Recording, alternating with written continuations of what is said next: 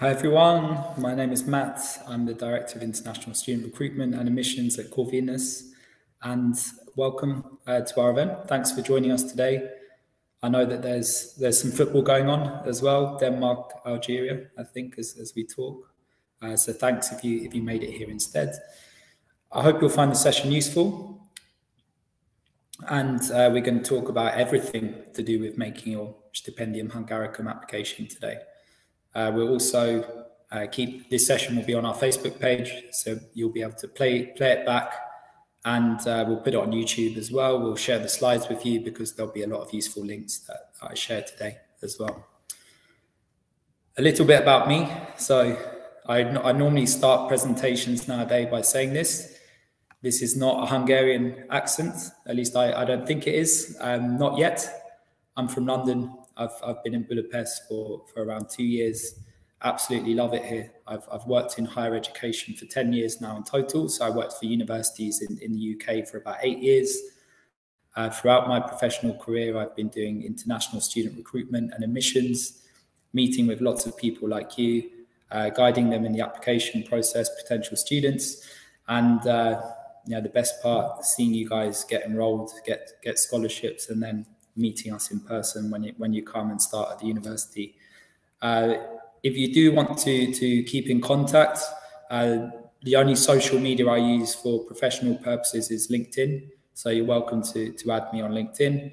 Uh, I would say a polite request is you're going through the application process, uh, not, not to message me about your, your application, uh, but if you do want to connect with me for, for future purposes, uh, for networking, please, please do add me. So what we're going to cover today, I'm very happy to say we, we've got two students who will be joining us as well, Lisa and Anna, or Anastasia, I, I should say. Uh, so first of all, I'm going to talk about the application process and uh, the key dates that you need to be mindful of. I expect you'll know some of these already.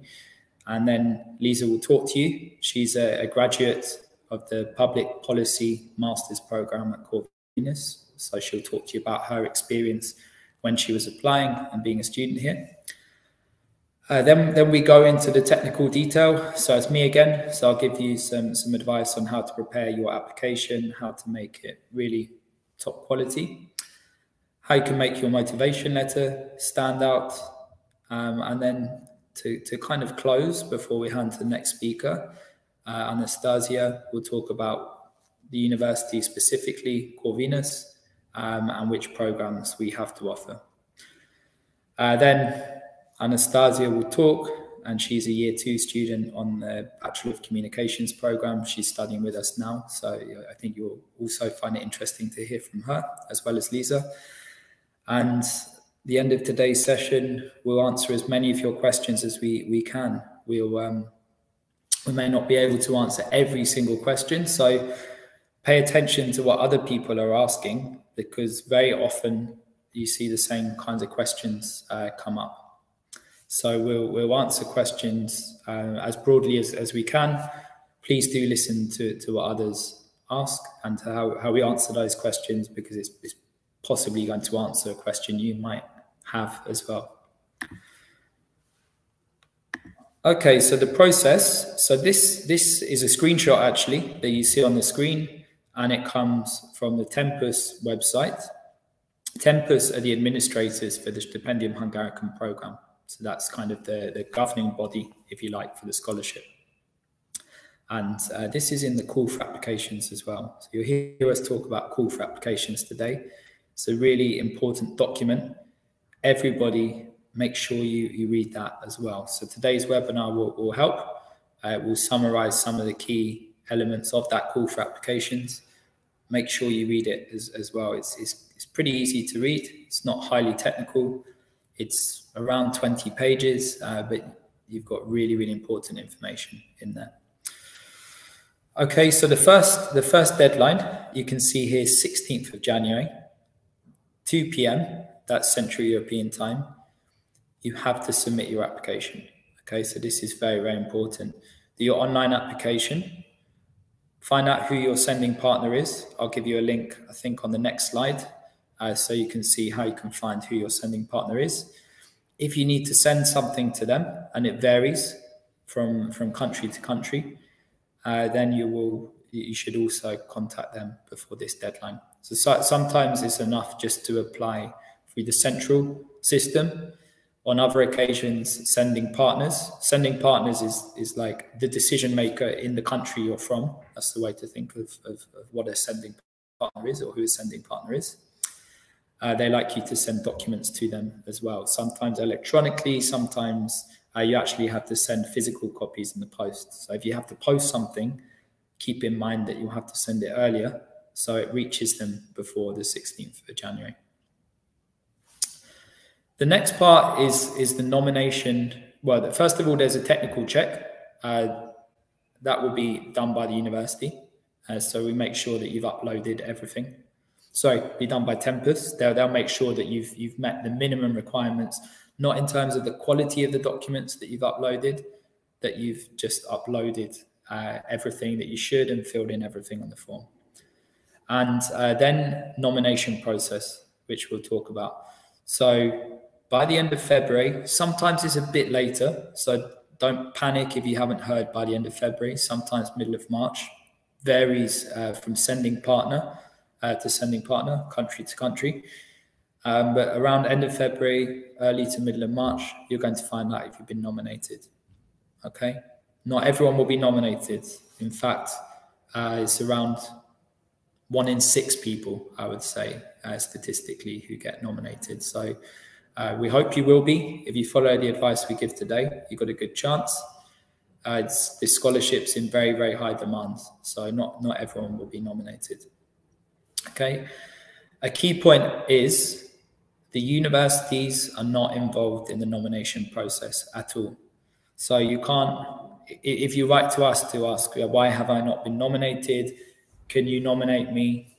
We, we, we can't influence that decision at all. It's completely down to the sending partner and it's down to you to, to impress them in, in, with the quality of the application you submit.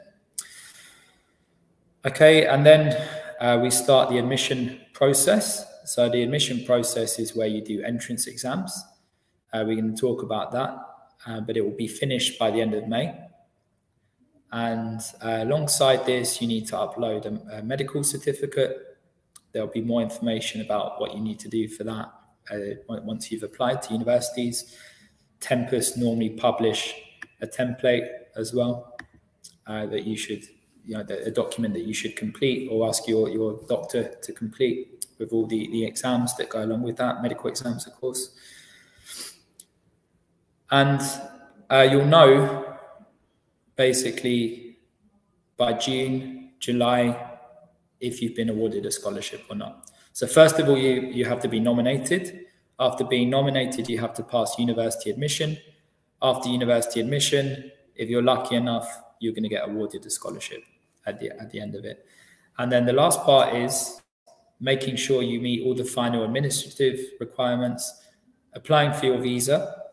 And then you'll see here, the very last bubble, it says arrival in Hungary, and you have until the end of September.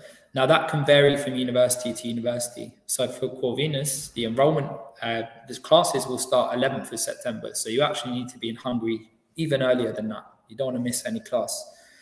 Uh, so 30th of September is the very latest. You, you guys need to prepare to be here earlier than that. And uh, the best way you can do this is providing all the documents as, as early as you possibly can in the, in the way that we, we ask you to do. Okay. Before you apply, you need to find which programs you can apply to.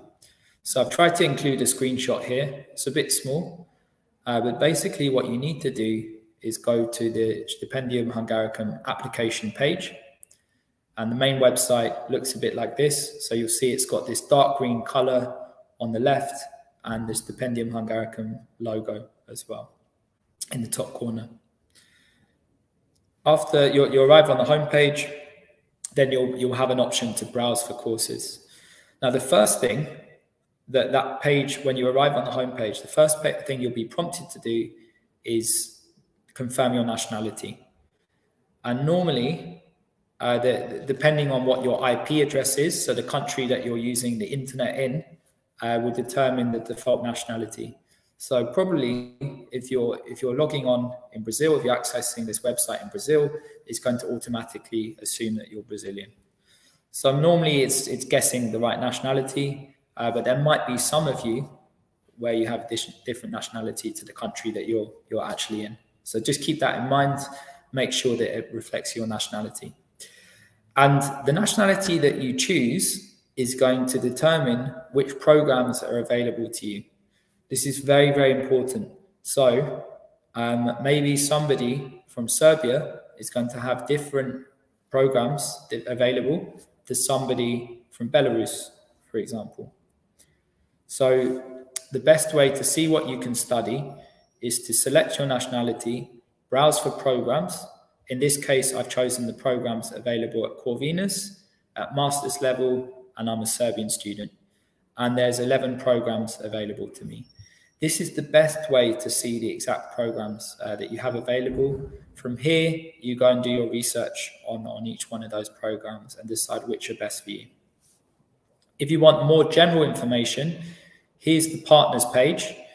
The partners page, as I mentioned on one of the earlier slides, uh, is where you'll see who your sending partner is. So take note of this URL uh, when you go to this page, you'll be able to select your country. You can see who the key decision maker is, and you may need to contact them to apply as, as well. Uh, so don't forget, you do the online application and uh, the process for contacting the sending partner with your application will vary. So the best thing to do is write to them and find out what they expect you to do.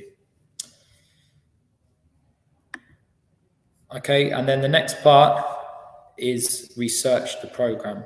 Please, please research the programs that you're applying to.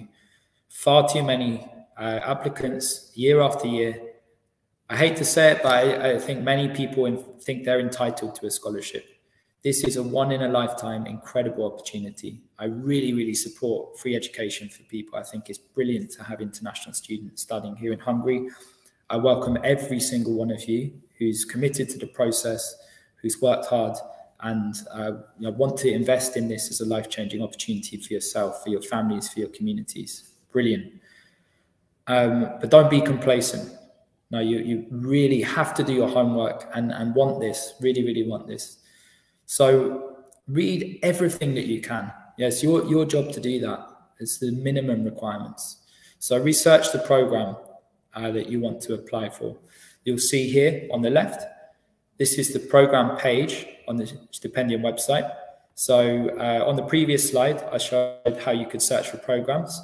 Once that list appears, you'll be able to click on any of those links and you'll find one like this.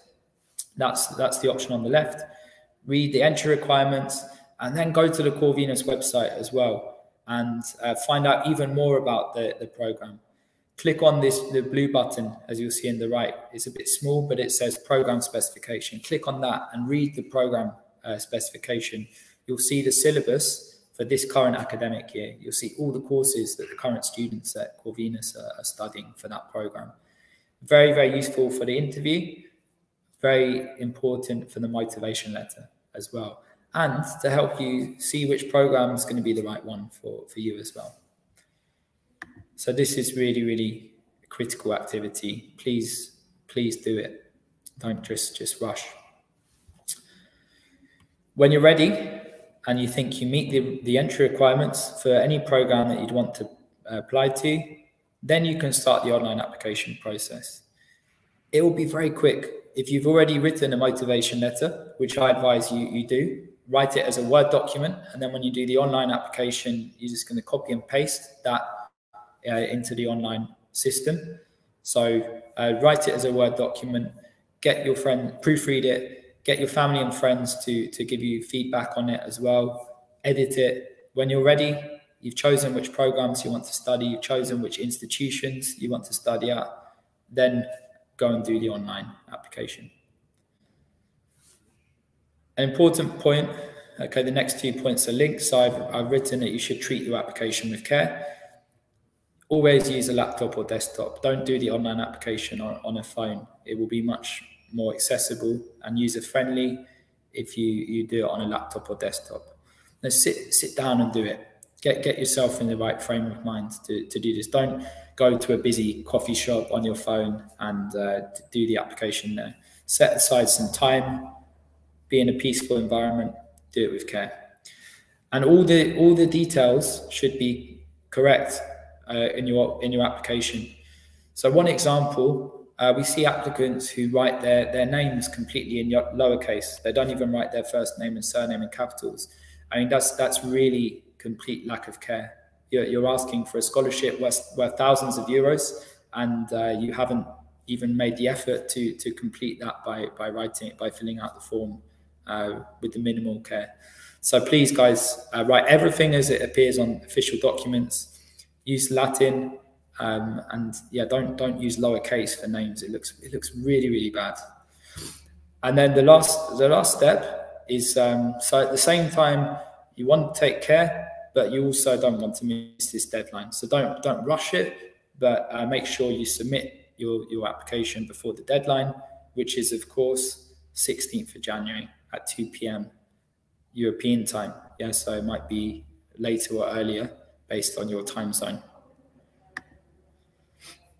Nominations, as I've said, is not Corvinus, it's the sending partner.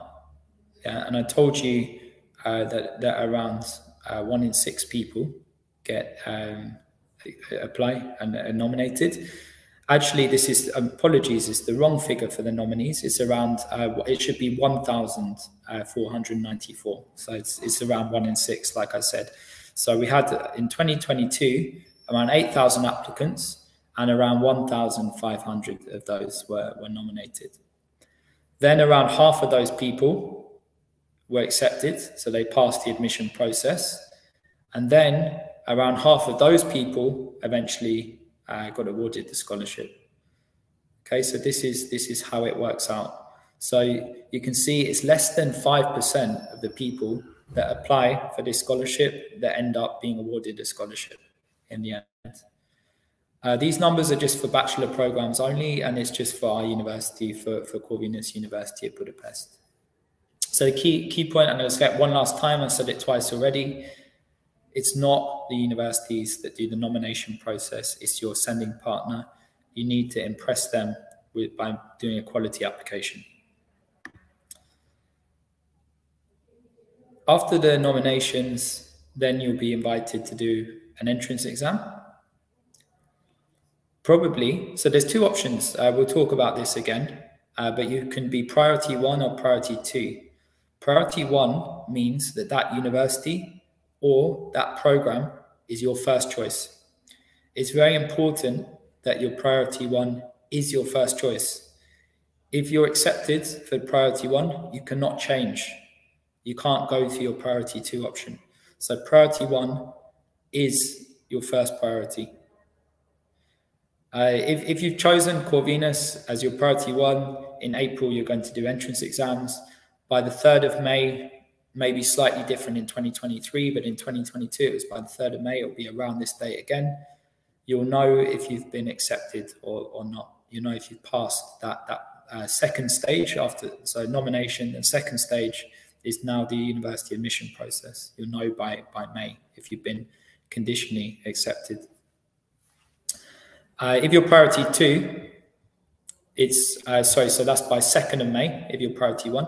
If you're priority two, uh, you can have entrance exams in April and or May. Yes, so there's a bit more time for us to, to do your entrance exams if you're priority two. And uh, you'll get your uh, conditional acceptance if you've been accepted by, by the end of May in that case. Get ahead of the game. Uh, there's already preparation materials on our website. And what I'll do today, for all of the links in these presentations, we will share the slides in the comments section of today's event. Go into the slides, click on any of the links you see, you'll be able to access them. There's, there's numerous links that I recommend you bookmarking, including these throughout. So if you're a bachelor student, uh, bookmark or bachelor applicant, bookmark the first URL. If you're master or MBA, bookmark the second URL. There's loads of useful resources And uh, some of the most useful resources is, is the preparation materials for the entrance exams. You can go now and get an idea of what you're going to, to have to be assessed for in April or May next year. All the entrance exams are online. So we, if, if we have interviews, uh, we do them normally via Microsoft Teams or Zoom. Uh, for certain programs, our business economics programs, we do a mathematics exam at Corvinus. That's all the entrance exam is. For all of our other programs, we do interviews.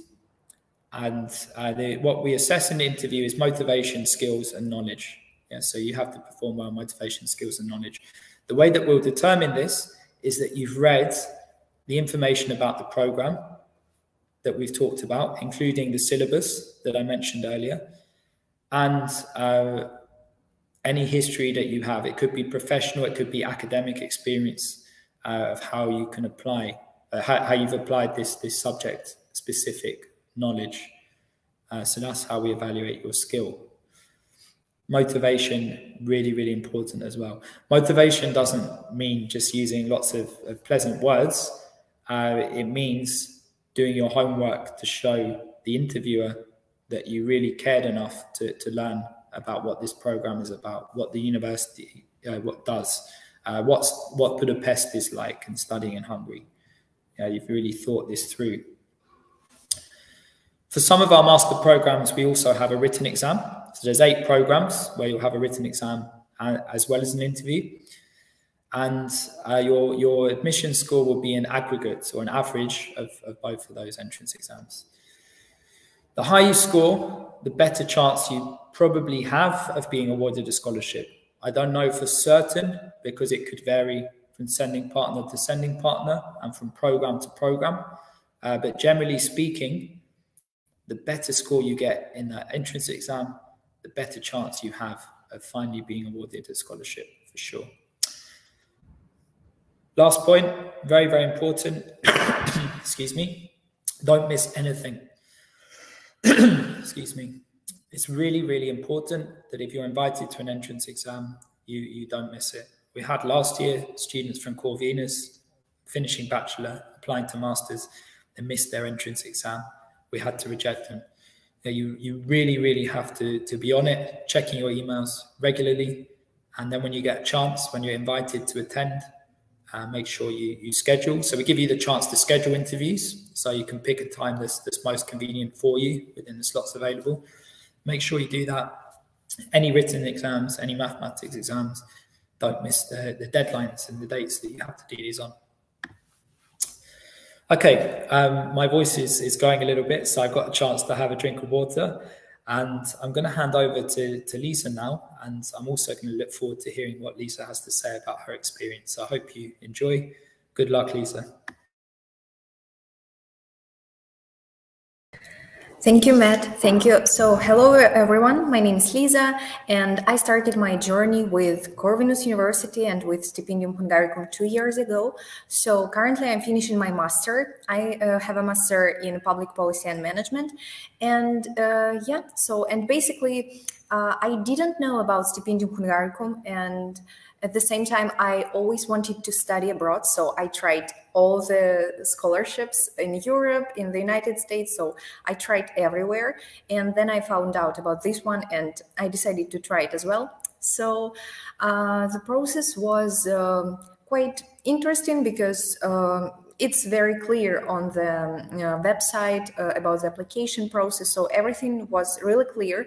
But at the same time, uh, I applied with my boyfriend. So we wanted to study together. And of course, it was really stressful because um, there is um, the chances are lower than two people will get the scholarship. But finally, we managed it and we were really happy. So um, basically, uh, we uh, got these scholarships and but then the covid started. So our first year was fully online but at the same time i should say that in corvinus the system worked so well that we had a great time um, despite the fact that we were studying from our home country. And uh, yeah, so the professors did a great job and we had really interesting lectures. So, and finally last September, so only, only one year ago, we came finally here and uh, yeah, and studied living here in Budapest. So um, as for the students, uh, for the students, Budapest and Hungary in general has lots of advantages and I really enjoy living here and studying here. So first of all, uh, it's a cool city itself. It's great for students. It has lots of uh, people from all around the world and it has a great nightlife because of course we came here to study but we also uh, want to go to the clubs sometimes to the bars cafeterias and budapest has lots of things to do so that's that's a great city so it's not boring you will definitely like it and another important thing for students in particular um, is prices because we were really surprised when we came here because we thought that every city in Europe is quite expensive, but um, Hungary in general and Budapest in particular, uh, the prices are fine for students. It's absolutely manageable, especially comparing to other countries, uh, to other cities in Europe. And that's a very, very good advantage for students. And I also want to stress the good things, the pluses of Corvinus in particular, because our, our professors are quite young and they are so motivated to provide really uh, good quality education to us. So, and uh, that was amazing because oh, we could discuss different things with our professors. We felt comfortable with them. They tried to make uh, lectures interesting for us. And it's very valuable when you really feel that your institution, your university tries does its best to provide the best quality education to you.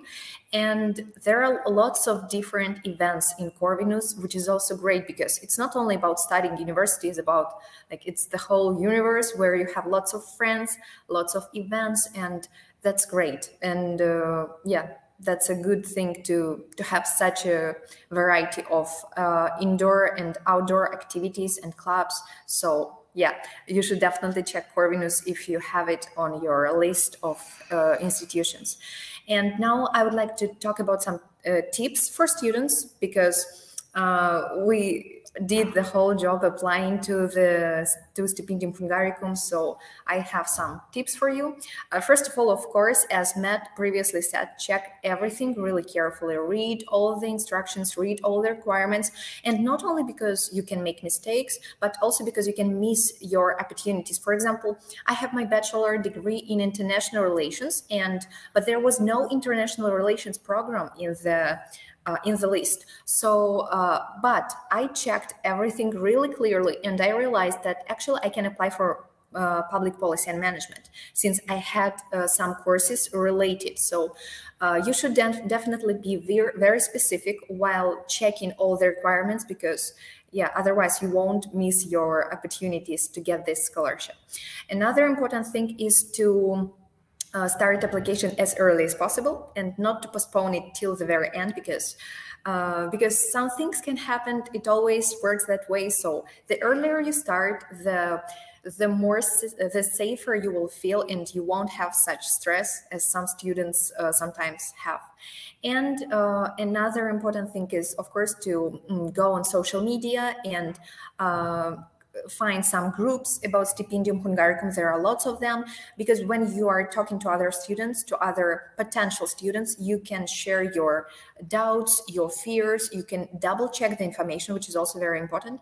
And the last but not the least by its importance is to uh, to check the universities carefully.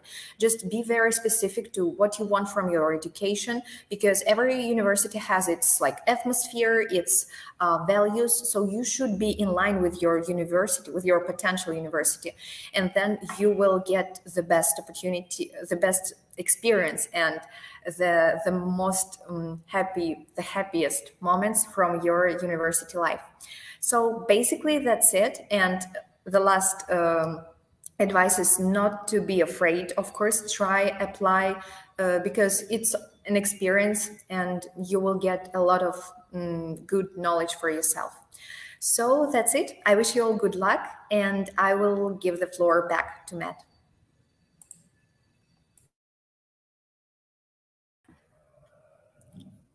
Thanks, Lisa. Uh, really, really great tips. Uh, I think the first one was was very useful.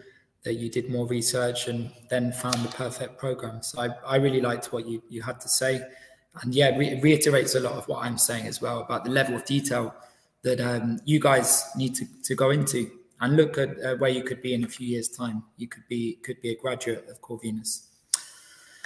Okay, uh, how to prepare a high quality application. I've seen some of the questions uh, or comments people have made whilst we've we've started uh, this session. So I think um, most of them are going to be answered actually. Uh, so somebody's, uh, Dariga's been asking about motivation letters. In this section, we, we're going to cover that. A few more tips about application. Uh, so some I've said already, um, but let's let's just go through these. So I, I mentioned uh, about filling in the details on the application form uh, as they appear in your doc technical documents, like passport, for example. Um, but you have to write in English. Believe it or not, we've had applications. I've seen applications in Portuguese. I've seen once in Chinese. Uh, you can't. You, you, have to apply in English. Possibly you can apply in Hungarian if you want to. Uh, don't do that unless you speak fluent Hungarian. English is is is good enough uh, particularly as you'll be studying in English, and, and use the Latin characters as well. So if you have a, a Cyrillic alphabet, for example, or um, you know, if you speak Arabic, then you should use the Latin equivalent uh, for, for your name. We already talked about priority, so don't don't trip up on this. Every year, people do. Your first priority is your first choice program and an institution. It's really, really important. Um, yeah, getting the technical details uh, are more important than any emotional appeal. I think I'm going to go into this more on the when we talk about the mo motivation letter. Uh, give as much documentation as you can up front. Uh, so this includes actually yeah, everything uh, that you can provide. Do it before the 16th of January. Technically, Tempus will give you until the 1st of August to provide your documents. Don't wait do your get your English proficiency certificate as soon as you can. Make it part of your application that the sending partner sees. Show them not just that you meet the English language requirements, but that you surpass them. Show them that you speak brilliant English uh, from the offset. So give give as much as you can up front. If you've already finished your studies, so if you're applying for a master's and you've already graduated from a bachelor's, or if you're applying for bachelor's and you've already graduated from high school, give everything up up front that you can. There's no there's no point in waiting. Uh, if you're still studying, that's that's okay. You just tell us what what you're doing at the moment. Send us the in progress transcript. Give us your your GPA or your grades to date in the current academic year or for the last academic year, and we'll wait till summer 2023 to get your your final qualifications. But if you have something, send it up front. It's going to help you it's going to give you a better chance of being nominated and it's going to help you get a visa quicker. Yeah, if, if you wait till 1st of August to produce documents, you have very, very low chance of making it to term before the before September. Yeah, 11th of September. It takes more more time than that to get a visa. You can't be you can't apply for a visa until you have an unconditional letter of acceptance from the university. So if you wait till 1st of August, it's going to lead to problems for you. Okay, this is very, very important point for anybody interested in the MBA. Do not apply for an MBA unless you have three years of work experience since completing your bachelor's. If you're studying a bachelor's at the moment, you cannot apply for an MBA. You, you, the earliest possible graduation date is uh, 2020. Yeah, the sorry, the latest possible graduation date is 2020. If you graduated after 2020 from a bachelor's and you don't have three years of work experience, by the time we reach September 2023, you're going to be rejected. I know in some countries we refer to BBA as a Bachelor of Business in Administration. You may think that an MBA is the, the next program after that. In some ways it is. It means Masters of Business Administration but you need to have work experience for an MBA. It's a statutory requirement.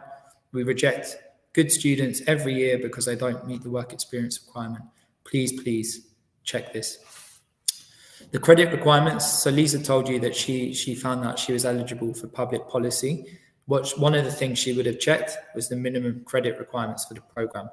If you're doing a master's in Hungary, so this can be masters of arts, science, or an MBA, you have to have related credits, credits and related subject areas. These vary from program to program. We include them on every program page on the Stipendium Hungaricum application website. And the links that I showed you earlier, the link for the master's application information, has these forms that you eventually have to complete to, to show us which credits you have. If you get nominated, you go through the admission process. We're going to give you, we're going to do guidance then. We're going to do more webinars with you to, to educate you on what you need to do. But at the application stage, you need to roughly evaluate that you're going to meet the minimum requirements for that program. If you're changing study field, you need to be really, really attentive to this. So if you're you're an engineer and you want to go and study business, you might not be able to. You might not meet those credit requirements.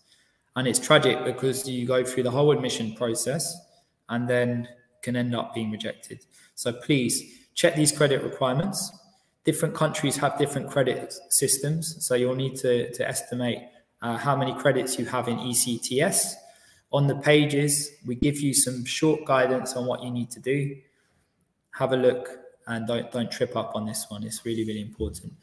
And uh, we've got some guidance on your academic record and motivation letter as well. English, everybody needs English language proficiency. Yes, so you, you might consider yourself to be a native speaker, um, but have a look on our website because there's only certain countries uh, that qualify as native speaker we use the list that the UK universities do as well. It's the list published by the UK government. So very, very few countries that are classified as native speakers. You'll need an English proficiency certificate if you don't have that. These are the, the certificates that we accept. They're all equivalent to B2 level. We always, always uh, recommend the Duolingo test if other universities you're applying to also accept it. The reason behind this is it's an online test. It's uh, and it's very quick to get the results it takes two to three working days before you get results. So there's no excuse to not have your English language proficiency certificate before you do the application in January. You can book now and uh, and do the Duolingo and get it on time. It's uh, it's around 50 US dollars to do the Duolingo test. These other certificates that we accept cost four times that amount of money, some of them. So that's why Duolingo is a good good option for everybody. All you need is, is a laptop and internet connection. The academic records, uh, when you're filling out the online form, the best way to do it is to start with your current or your highest level of education experience first. So if I'm doing a master's now and applying for PhD, let's say, I'll start with my master's and then I'll work backwards. So uh, master's, then bachelor's, then high school. Yeah, so start with the, the highest one is, is the highest level. Yeah, the one at the top of the application form. You don't need to go lower than high school. Okay, that's that's all you need to include. Uh, you should include your current grades or GPA and what's what's the maximum you can achieve. So, for example, you're going to write something like, "My GPA is 4.2, and the highest possible GPA is 5.0." or my, my predicted grades or average grades are grade B and the highest possible is A or 95 and the, the maximum is 100. That's uh, to, to give some examples. So you should include both. And uh, you also need to upload documents to your application. Do them in the same order as, as, as this. So again, start with the highest level first keep documents in the same order that the application forms in. That can also help.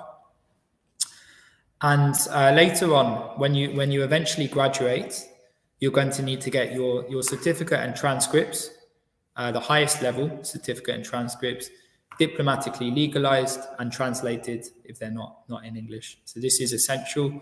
It's something that you'll need to do to to get the visa to enter Hungary. Okay, uh, I've already talked about the minimum credits. This is a screenshot showing you where you can find this on the page and a bit of information about how to calculate them. So this is uh, possibly for the MBA, and, and you can see for this program, you need to have 30 ECTS related. ECTS is the European Credit Transfer System. So that's how we measure credits in Europe. It's going to be different if you're studying in, in India, uh, for example, or if you're studying in Syria. They might have different systems there. You'll need to figure out approximately how many credits you have in ECTS by contacting your university uh, because this is for master students who've already completed bachelor's. Credits come from your bachelor studies. So you can see for the for the MBA, uh, you need to have 30 ECTS in areas like economics and methodology and, and business. Okay, and we advise you on how to calculate ECTS. You can figure out your learning hours by writing to the university and dividing by 30. That's how you calculate ECTS. One ECTS is 30 learning hours in Hungary. Okay, motivation letter. People have asked about this one. Uh, so I already said um, not to be too emotional. Yeah, so the, a key point for the motivation letter is be, be concise. Now, Corvinus has 8,000 applicants a year. So the sending partners reading all of these, plus uh, from almost 20 other universities in, in Hungary. So there's there's thousands of applications each year. So you, you don't want to write too much. You know, you've got to capture your story uh, in an impressive, emotive way, but by being punchy and, and concise. Okay. The most important thing is your knowledge of the subject and your motivation to, to study at, at the university you've applied to. Okay, it's really, really important, or at the universities you've, you've applied to, or in, in Budapest. Uh, but the subject knowledge is really, for, for me, the most important one. Um, next point don't make too many emotional pleas. It is an academic scholarship. Every single year, every year, uh, we read lots of these, sometimes tragic, um, you know, very, very uh, emotional stories. And I know people come from different, diff difficult circumstances, and it's great that scholarships create opportunities, uh, but it isn't a chance to necessarily go into too much detail about financial hardship and uh, you know make it too emotional. Focus on this being a scholarship for academic merit. Focus on the positive story of uh, what you can do in your future career if you get a scholarship. You don't need to go into too much detail about uh, your family background, uh, however however hard it, it may be. Um, you know, this this is an academic scholarship. So show us, put put your money where your mouth is, and uh, show us that you have subject knowledge by researching the programs that you're applying to. This is the best way you can can impress. And the way to do this is to use these program curricula. So this link is going to be in the, the slides We'll, we'll include the slides in the comments section. Use it. Use the program curricula for any program um, programs that you want to apply to. Okay. Evidence any relevant work experience. You know, the, the links to your program, particularly if you're a master's applicant. And um, yeah, talk about how you're going to achieve your career goals. I've, I've said this already. Yeah, I, I, I think that studying digital marketing in year two of this program is going to be helpful for me because I want to work at um, Company X as a search engine optimization specialist. Yeah, so you've actually read the syllabus and linked it to something that you want to, to do. And then the last tip is get get people to check uh, this this as well. You know, people that you trust um, who can give you constructive feedback. Okay, last few tips and advice. Uh, so you can apply, you can apply for two programs, priority one and two, as we've discussed. You have two different options. You can apply for two programs at Corvinus. Obviously, I, I recommend this uh, as a, a Corvinus employee. It's a hard university to get into. It is the best university for, for business and social sciences and economics. Uh, so to give yourself a better chance of being admitted to Corvinus, you can apply for two programs with us. Um, but you can also Uh, say say you want to apply for economics with us, you could also apply for economics at University X as, as well. Uh, so there's different different options. Just don't forget the priority is really really important. Lisa said this point already, and it's a really good one. Just just give yourself time. Make sure you apply well before the deadline. Regularly check emails in your junk folders once once you've made your application. So you might want to whitelist our admissions office, uh, international.application, and uh, the Stipendium Hungaricum email address as well. Yeah, at, at Tempus because they may also contact you. And uh, the admissions office, just a polite request, it's a no reply email. Uh, we're inundated with emails every year uh, from applicants sent to this address. So now it's it's a no reply email. Please don't write to us there. We can't give people case by case feedback. Once you start the stipendium application process, you'll have this webinar. You have the other resources that we've talked about. Uh, there's the forums that, that Lisa mentioned. It's it's really on you to to go through the process. Of course, we, we're going to hold other webinars for, for applicants as they go through the system, uh, through the process, and um, we're going to invite you for entrance exams if you've been been nominated. But you have to show initiative. Yeah, th this is kind of another point. Now, guys, we, we want you to be serious. You're applying to study in a in a new country, uh, to live overseas. You've got to be able to manage living alone in a new environment, away from family and friends, uh, where it's not going to be your first language. There's the spoken predominantly. Of course, English is well spoken in Budapest, um, but it's going to be different for you. So you've really got to show huge initiative uh, throughout this application process. And when when you arrive here in Hungary, you know you've got to be you've got to have these survival skills and problem solving skills. It's going to be very very important for you in the future You've got to be resilient and, uh, as I've said, take initiative. And just a few more. So I've already said uh, to check the resources on our website. Frequently asked questions page, very, very useful. So we've got frequently asked questions amongst international students. We have another, another frequently asked questions page for Stipendium Hungaricum applicants uh, and, and students. So check those out when we hold webinars, which we will, always join them. Yeah, so if, during the admissions process, we'll hold webinars to advise you on how the next steps work. Join them, they'll be useful. Call for applications, definitely read that. Encourage everyone else you know to, to read that as well. It's essential, it's going to answer most of your questions. If you're serious about a scholarship, um, you know, the, le the least you can do is, is prepare for it by reading the call for applications research about Hungary, Corvinus, your programs. Uh, the next point I've said, you know, you be proactive, be prepared, and uh, we'll share this this webinar with you as well.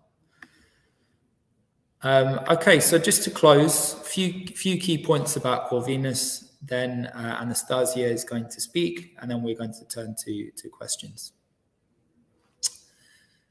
Corvinus has around 12,000 students, so it's a medium-sized university.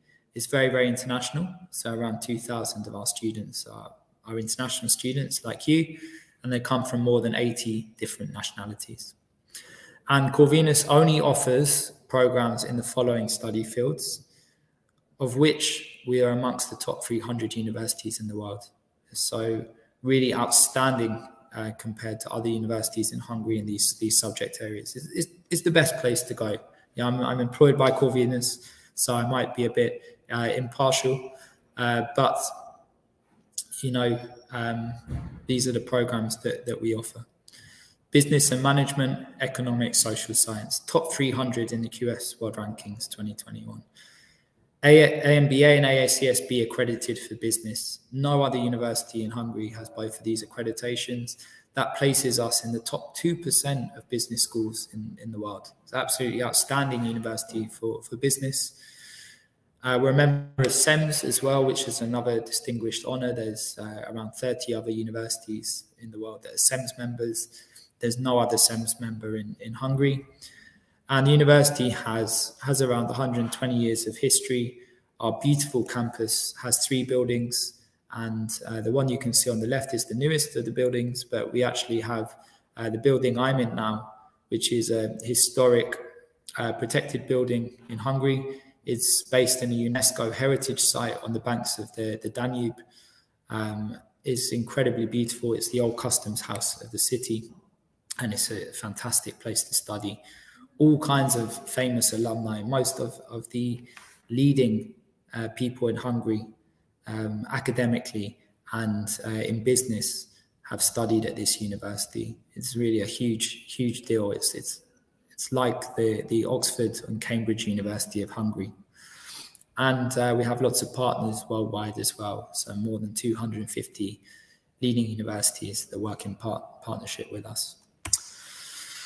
So programs available. As I said earlier, you'll have to go to our uh, to, to the stipendium page and browse for the programs based on your nationality because different programs will be available to you dependent on your nationality. But uh, having said that, you can see here uh, that we have the, the eight programs that we have at bachelor's level. So I'm not going to go through them all, but you can see they're related to business, social science, and economics. And similarly, the programs that we have at master's level as well. So don't forget to check the, the stipendium website and research which of these uh, could, could be the right option for you. We also have PhD programs available, and all of these are taught in English. Okay, uh, I'll come back and answer questions in a bit. Now it's time to hear from Anastasia. Uh, go, Anastasia. I'm looking forward to your part too. Thank you, Matt. Hi, everybody. My name is Anastasia. Um, I'm a second year student of Media Communication Science bachelor program.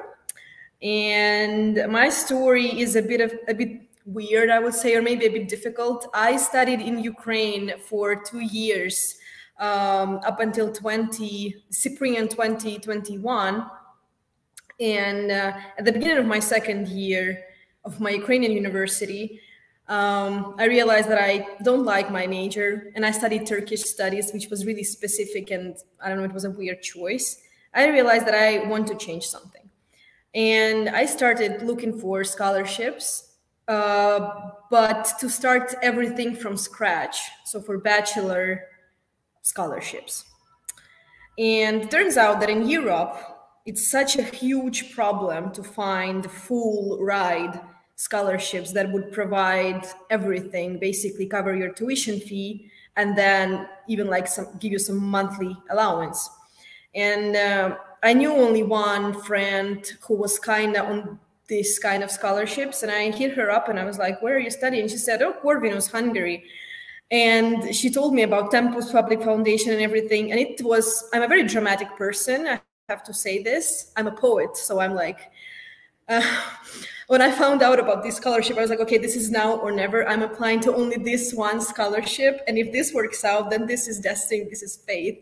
And I'm going to study abroad. And I started my application process right from uh, November, I think, because I had to do my IELTS exam and stuff like this. Um, and by December, my application was ready.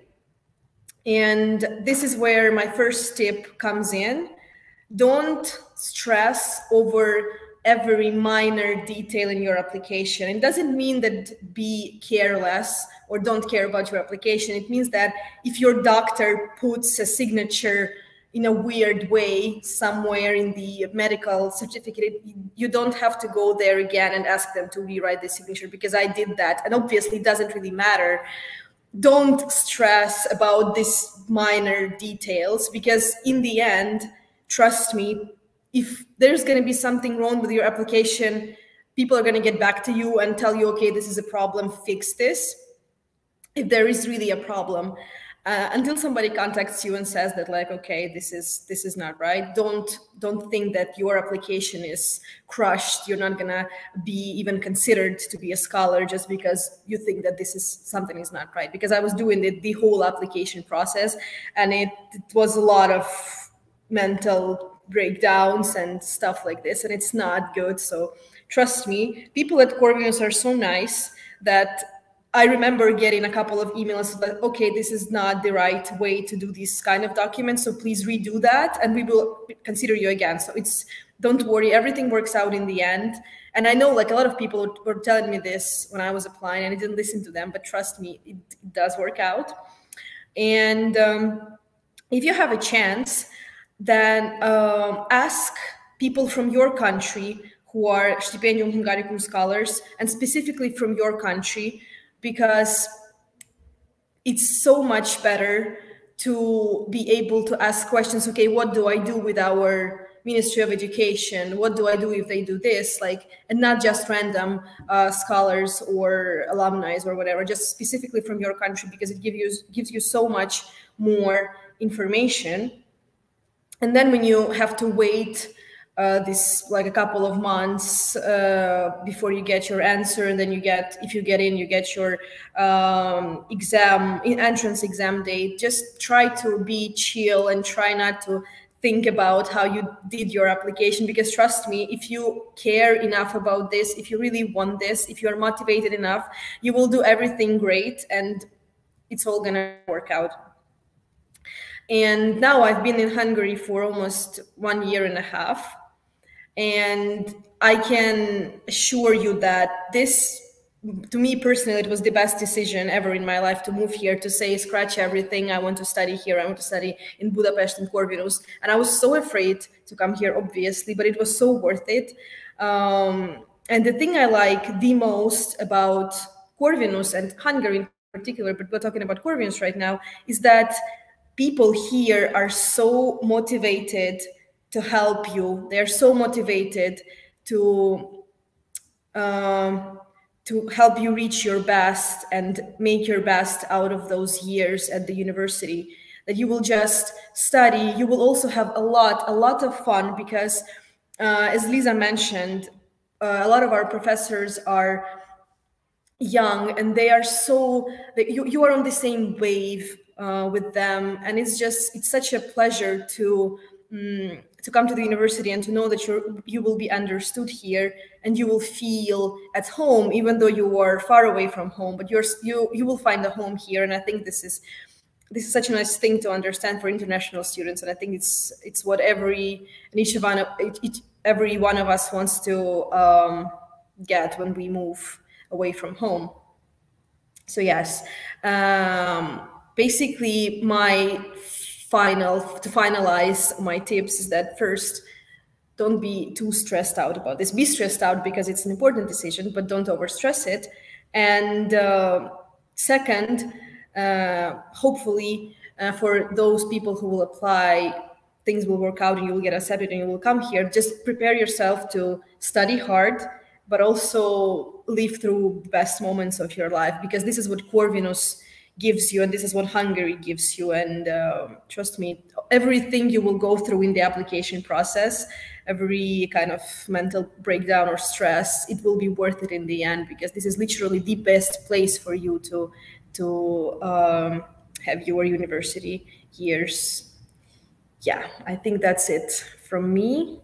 And thank you matt for giving me the opportunity to speak and uh, good luck to everybody who will apply this year and hopefully see you in Corvinus in September. Yeah, it's great, Anastasia. Thanks. And it's, it's my pleasure uh, that you could speak. I wish I could speak as well as you. Maybe because I, I didn't know that you're a poet. So maybe that's the, the extra edge that, that you have. But I think there was really great advice there, guys. And the, both the girls who presented today, I'm happy to say that I, I know them both and we actually work together as well they're top top students, great great people, and you know really yeah th this could be you some of you in a few years as well. Um, so I hope you've you've listened to what they've both said. Uh, okay, we're going to do some questions now. So um, they're going to show on the screen. I guess Anna, if you want, uh, you can answer any of these as well. Um, but if they're if they're more technical, I'll take them maybe you can add something if there's there's anything that you'd like to. Uh, so Aruna is asking about the financial requirements shown on the bank account to get a visa. If you get a scholarship, then you'll get what's called a letter of award. Now, norm normally to apply to Hungary as a student and to get a student visa, there is a financial requirement which involves you showing bank statements. Um, basically, that's the money that will help you to, to live whilst, whilst you're here as a student. But as a scholarship holder, you get you get some money as part of the scholarship program. So the scholarship, first of all, covers your tuition fee, so you'll have completely free tuition. And second, uh, there's two other components. One is accommodation assistance, so you either get university accommodation, or uh, you'll get a small allowance, around 100 euros, worth around 100 euros towards your accommodation. So you'll get one of those. You'll get accommodation space or accommodation allowance, and uh, you get a living cost allowance, which is around 100 euros as well. So uh, this is everything that you'll get with the scholarship, and because you'll you'll you'll have these financial uh, stipends, they are you know they're monthly scholarship payments that are made to you, um, and you'll have that letter of award, which will show that you're entitled to, to the scholarship. There's no bank account requirement for you to to get a visa, so this is is important. Uh, a side note here, guys, the scholarship allowances are not enough money for you to live on in Hungary. Uh, Anastasia might add to this, but we typically say that it costs around 7,000 euros per year. Yeah, th this amount that you're getting is, is not enough. So you, you should have some savings or you should be prepared to, to have a part-time job Anastasia and Lisa have both worked at the university during their, their studies as well. So it's hard to get a job at the university. It's competitive, but that's something you, you can consider. Uh, but as an international student in Hungary, you can work 24 hours a week as well. So just keep in mind, it won't be enough on its, its own. Do you want to add anything to, to this? Yes, sure. I agree that uh, uh, the monthly allowance is not enough, even though it's we are all really thankful that uh, we are being given this money because it's it's a great help, and it can cover, for example, um, if you rent a room, a small room somewhere, yeah, it can be enough for your accommodation, but you will you uh, obviously have to think about everything else. And uh, from the experience of from my experience and from the experience of my friends, it's not that hard to find a part-time job for international students.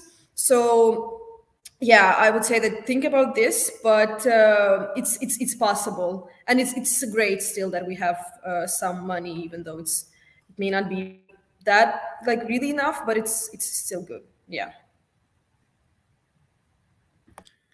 Can never have enough money, can you? Or may, maybe you can. Who knows? It's not not the key to happiness. Um, okay, thank, thanks, Anna. Next question, says from White or Majid, perhaps it should be pronounced. Uh, if I get accepted by my second choice, rejected by my first, do I still have the chance to be awarded? Yes, that, that's exactly how the priority two works. So it's your your insurance option if you're not accepted by your first. That that's pretty much, guys, the only scenario in which you can end up at your priority two. Because if you're accepted by your priority one, you, you can't go to your priority two. Yeah, so you can be accepted by both, in which case you're going to go to priority one. You can be accepted priority one, rejected priority two. In, the, in that case, you're going to go to priority one, or you can be uh, rejected priority one, accepted priority two. That's the case in which you can go to your, your priority two. Uh, so I think that answers that one. You probably don't want to add anything to this, Anna. There's not much more to say. Okay, so next question is from Dariga. Yeah, uh, Dariga, I saw what time that you you published this comment. I think we covered the motivation letter in in the slides, so I won't go through everything again. But the you know the key takeaways um, is read the program specifications, and then using that information, make focus your letter on on the the academic foundations of that program and how studying that is going to help you in your career aspirations. This is the really, really important part. Go down this path, guys, uh, rather than uh, making it too too emotional. Anna, do you want to add anything to, to that? Uh, yes, I remember when I was writing my uh, motivation letter and I got this advice that if you can, write specifically how you will implement your studies in like in, um, either in your future career but what i did is i wrote when i will go back home i will do this this and that with this this and this experience. And i think it's something that really uh, maybe even stands out and it's really specific so you can show the admission committee that you need this for this. And it's i think it's, it really shows that you are motivated for this and this reason. So yeah. And i did write my motivational letter a bit i think too emotional but um, it was still a great experience. It was for me it was the first motivational letter ever for a university. So yeah uh, it won't be perfect but uh, you should try as as um, as hard as you can to make it really good. And yeah give it give it to a lot of people to check it to read it through especially for um, give it to the university students abroad I remember I gave it to a couple of people who studied at NYU, and they gave me a lot of great uh, advice on how to improve it. So yeah, it's, it's a really important step. Yeah, you, you did tell us that you're a dramatic person, and uh, we know now that you're a poet as well. Uh, so uh, the guys, a bit of emotion is good. I don't want to say that you. We don't expect you to be robots. We do want you to tell your story. I think the point is you know, focus most on the academic and yeah, emotional but not emotional blackmail. I think that's that's that's my point. You know, um, and it will will have more power that way. Okay, uh, are there any master's programs in speech and language pathology? Uh, not at Corvinus, because we're a, a, business economics social science uh, university. The only thing remotely close, and it's not very close, is what Anna's studying, or Anastasia, I, sh I should call her. Um, I'm used to calling calling you Anna. Sorry, Anna's a nice name. Um, it's communications. This is the only thing really closely related, um, but I don't know what the pathology element is, is of that program. It must must be a technical term. I guess it's related to language rather than blood pathology. Um, but Elena, try try another university and see what programs they have. Aguda, Stephen, from Nigeria, primary language English, and also study bachelor's degree in English. Do I need the English proficiency test? Uh, Nigeria is not one of the countries that is on the, the list of native that qualifies as native English speaking countries. I know that people from Nigeria speak English. Uh, the UK government doesn't recognize it on their list. But uh, if you've studied your bachelor degree or you've studied your last four years of high school in English and can get proof from your university, or high school uh, that that was the language of instruction and assessment for the full duration of your, your studies or the last four years of high school, then you can be exempt from the English language requirements. That's the only the only situation. So it should be an official letter. Okay, I think uh, the next question uh, is about okay, uh, it's about IELTS. Yeah, it's the same. Yeah, from Aruna. So I completed my bachelor's in accounting and English for four years. Do I need IELTS? Well, Aruna, if you can get the letter from your university saying that you study in English, assessed, and for the full full four years, uh, you you can be exempt from that. Okay, Tahir, this is a long question. I, I, saw this one earlier. So Tahir is asking about credit requirements for the Masters in International Relations. Um, and his bachelor, I think it's his, yeah. Bachelor is in Applied Economics.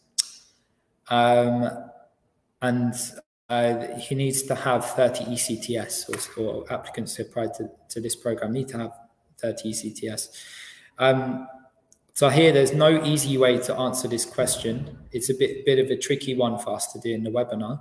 What you'll need to do is go to the master's application info page that we talked about earlier and go to the credit recognition forms. And what you'll see for international relations is there are different study areas and uh, there might be a maximum of what you can have in each study area. So you might, for, for economics, uh, or business economics or um, yeah economics as an area only be able to have a maximum of 10 so you can you can acquire your 30 ects uh, however possible but you can't exceed these these maximum thresholds have a look uh, the forms, that's going to be the best way to to get your head around the, the answer to that one. I'm afraid I just just can't explain it right here. It's it's quite a personal question, but I hope that gives you start you need to to do the research. Uh, what is the G? What GPA is okay to apply for scholarship? Uh, the ELSA, uh, there's no GPA requirements. I guess you're from from Albania. Looking at the name, I was was if you are, I was there recently really, really nice. I, I went to Tirana a few weeks ago. Um, G, no GPA requirements. Okay, we want you should have a good GPA. What does good GPA mean? Ideally, people who have four out of five or eight out of ten uh, and above these kind of grades. Uh, but there's not specifically a GPA requirement. The entrance exam is, is important. Anna, do you want to say anything about your GPA or give advice to people on this? Yeah, I think I had uh, my GPA was like 11.9 out of 12, if I can brag a bit. so. I, I, I remember I was trying to find some information about this, if I should like convert my GPA to another format. And I think I had to. I'm not sure though, if, if, if somebody has the same questions, you should double check. Because in Ukraine, we have a different um, type of GPA or whatever uh, compared to Europe. But yeah, I don't think that anybody really gave i mean from the people i spoke to nobody really gave a thought about this so yeah just i i don't think there's like such thing as like i agree with you matt like what is a good gpa like yeah there is there are some standards but still yeah. Actually great grade distribution varies a lot from country to country. So there's some countries where it's quite easy to get five out of five uh, and there's others where it's yeah if you get three out of five it's it's a really big achievement. Um, so the Corvinus, the most important thing, the other is Corvinus doesn't have GPA requirements. How you perform in the entrance exam is the most important thing, and that you you graduate. So you need to complete your studies. So you can't drop out of high school. Uh, you can't drop out of a bachelor's if you want to apply for a master's. Uh, good GPA is going to look good on your application. It might be something that the sending partner looks at, of course yeah, so we, we encourage everybody to, to get the best grades possible. Okay, uh, next one, Ismail. Uh, does the university offer materials to prepare for the entrance exam? Yes, I told you in the slides uh, that we do. So you might have asked that a bit earlier, you might have asked later, but yes, the good news is we do. And uh, we'll make those links available in the comments section. We'll share the slides and you'll you'll be able to click on the links. It was was in the second part of of my presentation uh, where I include the links for for that. I think maybe the first part. I don't know. You'll find it. yep. Next question, please, Lily. Another one from Ismail. Uh, do we need to make separate applications for sending partners and for the university admission process, or is it only one application? Yeah, this is this is a good question. So uh, you have to apply through the system uh, to the university before 16th of January. This is pretty much all I can tell you. I think it will be a good one for Anastasia to share her experience um, and how it worked with her sending partner. But generally, what you can do is contact your sending partner, or you can join forums uh, the people from your country are part of and uh, find out what, what, they had to do because it really va varies from partner to partner. The university, the only thing that we'll see is the online application.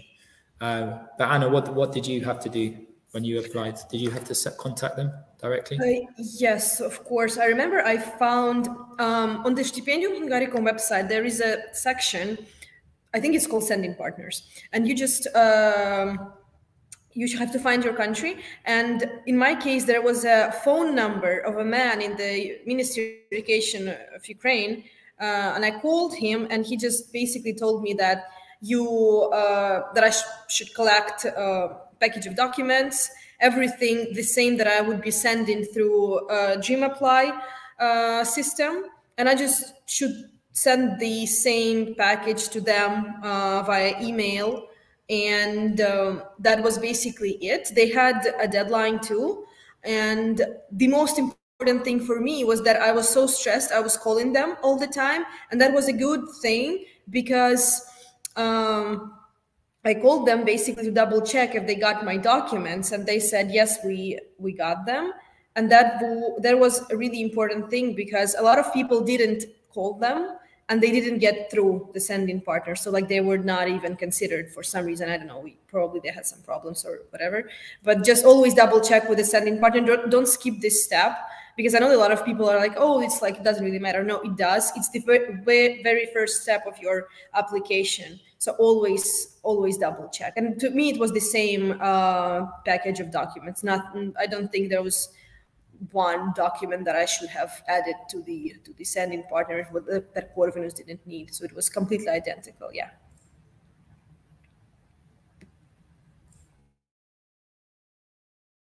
I was muted.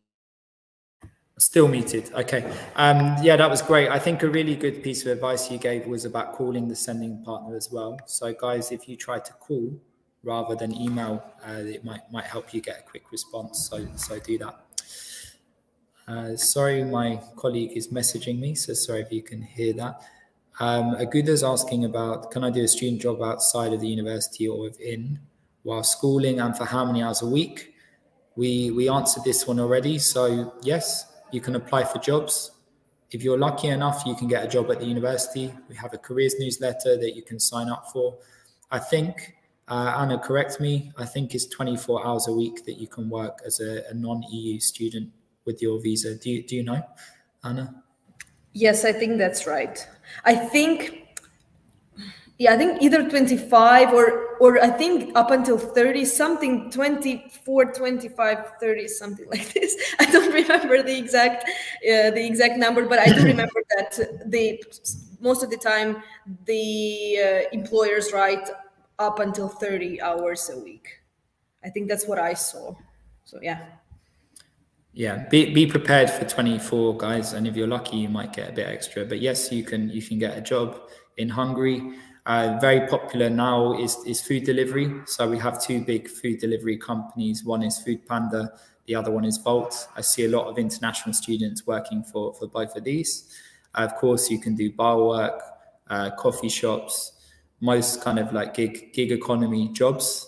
Uh, you can work on your Hungarian as well, learn a bit more Hungarian with, with that. Um, by the way, I learned Hungarian Anna learns as as well as part of, of being a stipendium Hungaricum student. You'll you'll get free Hungarian classes. That's a nice little little added uh, element to this this program. You don't need to learn, but it's it's always a, a bonus if you can say a few things, and it's a, a fun challenge. Uh, the typical salary, I would say, is around five euros per hour. Yeah, um, that's that's typically what a student can earn here in in Budapest uh, in a part time job while studying. Anything you want to add, Anna, to that? Mm, no, I think I think you covered everything. Yeah, basically, most of my friends work either in the coffee shops. Starbucks is one of the most popular ones because I think they gladly accept people who don't speak Hungarian. Yeah, so it's it's a it's a challenge, but it's it's really possible to find a good job. Mm-hmm. And how is your Hungarian? Do you want to share any words with the, the viewers? well, I love the course from Stipendium Hungaricum at Corvinus. Perfect teachers, perfect everything. Um, and my, I, I guess my Hungarian is not bad. I can't really speak. I understand a lot from my Hungarians friends speak. But no, I would rather not share anything. I would, don't want to assault any Hungarians who may be listening to us. my, my accent. okay, in that case, I, I, I will do the same. Uh, but guys, yeah, you'll learn a, a, few keywords and it's quite fun if you can can speak a little bit. And and the grammar is very very interesting. Hungarian's like no other language I've ever studied. It's not a Slavic language. It's part of this very bespoke language group, which um, linguists say includes Estonian and, and, Finland, but it's completely different to Estonian and Finnish. It's uh, it's a beautiful language and you're going to find it really interesting to, to learn a bit of it. You can understand more about the culture of Hungary through, through learning about the language as well, which is, is fun. Okay, uh, what else do we have? Abdul Rifat, how much extra activities matter for nomination? Um, we've moved on to the next one, but I'll just quickly answer that. I, I don't know, it's down to the sending partner. I mean, the more extracurricular you have, the better it's not part of our university admission process. It's how you perform in the entrance exam that counts. Uh, Livia, is it good to include extracurricular in the motivation letter? Okay, these questions go go together. Um, and it is, but it's it's not. It might be something that the sending partner is interested in. It's good to show that you do things outside of the classroom, um, but it, it shouldn't be like eighty percent of your your motivation letter. So, yeah, maybe like ten percent, twenty percent max if you want to talk about extracurricular. If you've got some really uh, big big achievements. Anna, uh, what do would you like to say something? Um, yeah, I agree that it's good to include something, but yeah, only if it's like something outstanding, not some details. Yeah. So yeah. yeah. There is an activities section of the application form or work experience activities. I, I think work experience is really important. I, I, think everybody should have work experience. I, I did my first jobs at the age of 16. Um, and I, I always worked as a student, as, as Anna is now. And it's really, really important, particularly if you're a master's applicant. So I think everybody should try to have some work experience, and you can include that in your, your application as well. It's useful for the interview when you have to talk about your skills related to, to the program. And any kind of job uh, can be really, really valuable to you. Okay, Victoria, uh, how many scholarships are available for Corvinus? I don't know uh, the answer to that. I mean, all I can share with you is the, the numbers that I did share. I can repeat. So we had uh, 387, I think it was, scholarships awarded this year in, in 2022. So it's probably going to be around the same number in 2023. And of course, uh, there's allocation for each program as well. Yeah. Th- thanks, Lily. That's that's okay. Uh, Mo Zorba, Mo, I know I know you, don't I? We've we've met in person recently, so it's, it's good to see you here. Um, if I want to apply to MBA, should I have three years experience before submitting the application, or is it okay to complete them in August and still apply in January? Yeah, Mo. So uh, if you have three years of work experience uh, before you start the MBA, so you need to have the three years before September 2023. So uh, as I said, the magic number is uh, 2020 for graduation. If you graduated in 2021, it's going to be a bit problematic for an MBA. If you graduated in, in 2020, uh, you'll have the, the three years work experience. Okay, even if you started work in September uh, 2020 and, and you finish, you know, you, you start the program uh, in September 2023, you, you're going to be okay. So yeah, you can anticipate that you will have the three years by September 2023, if that's clear. Yeah, I I think we'll run for a few more minutes. Um, Anna, can you stay? You, uh, do you have classes? Are you yes, okay? of course. No, I'm staying yeah. for how long? Yeah, you need me. Yeah. Yeah, yeah, guys. I think we'll we'll last until we'll stay until 4 p.m and then we'll we'll close because there's still questions coming in. Okay, so Sarah or, or Sarah Schmidt is asking, uh, can we talk more about proficiency tests? Are they all considered equally uh, despite the pricing, or do I have more chance of being rejected if I choose a less expensive test, TOEFL or IELTS? No, there's there's no discrimination based on the type of test. Um, look, all of these results are equivalent to B2 standard. Yeah, if, if you want to submit a quality application and impress the sending partner, um, probably you're going to need to speak C1 level of English, really. Uh, that, that's the kind of level that Corvinus students speak as a, as a minimum, but the, the requirements are, are B2. Um, no, there's no advantage to doing TOEFL over IELTS. Um, you won't be discriminated for doing Duolingo. The, the factor to keep into account is uh, do the other universities you're applying to also accept? Yes, so for Duolingo, Corvinus, Duolingo is acceptable. But if you're applying to another university, uh, so Budapest Business School, do they accept Duolingo? I, I don't know. I don't know their admissions criteria.